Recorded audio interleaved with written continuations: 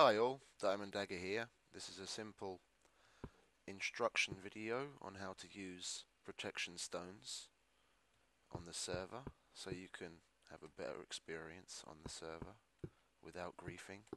I've set up a small little cuboid, well half a cuboid to illustrate the area that the stone protects.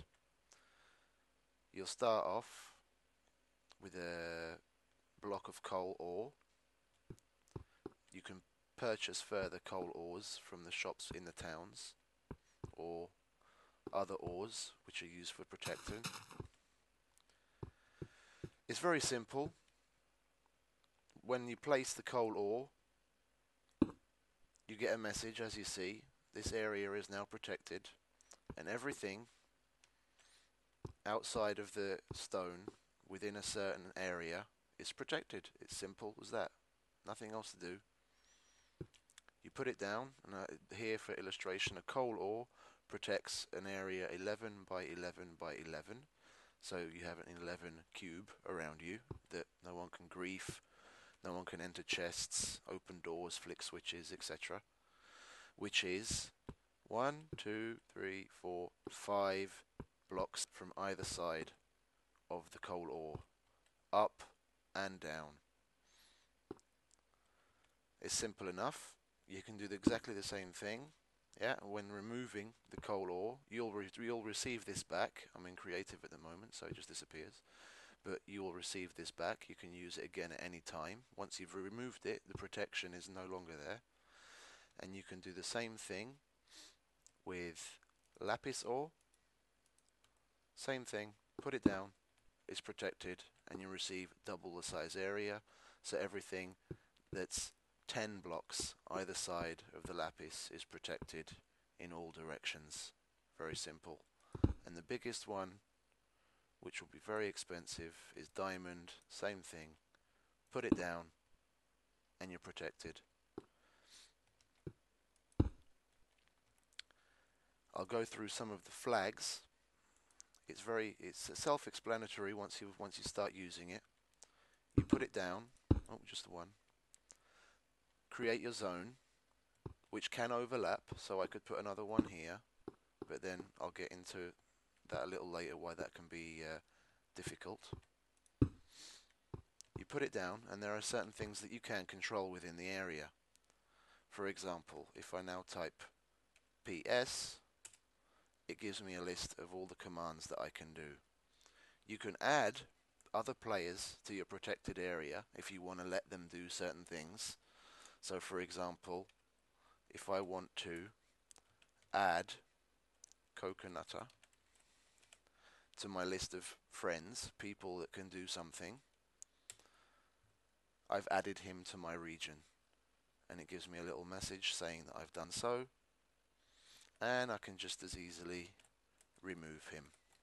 Oops, not pass, PS. Coca Nutter. And now he's no longer able to do anything.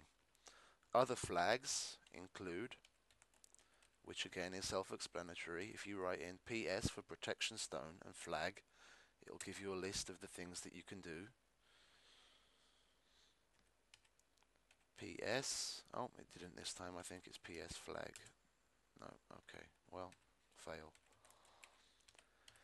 Flags are PvP.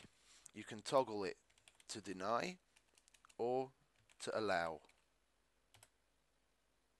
Same uh,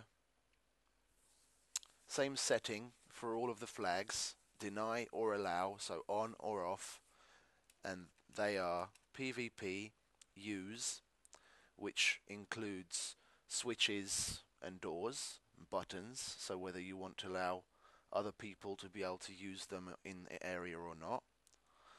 Chest, dash, access, again self-explanatory, whether people can, other than yourself, can access chests or not. You can even give them a greeting message so when they enter your zone, let's say for example, I want to say welcome. Uh, anything after a space will be omitted, so you need to use the underscore welcome to diamonds house. If I had a house here, greeting flag has been set. Now when you enter the zone, it says welcome to Diamond's house. And I can do the same thing for leaving, which is farewell. Goodbye. Come. Oops, I did a space there, see? Again.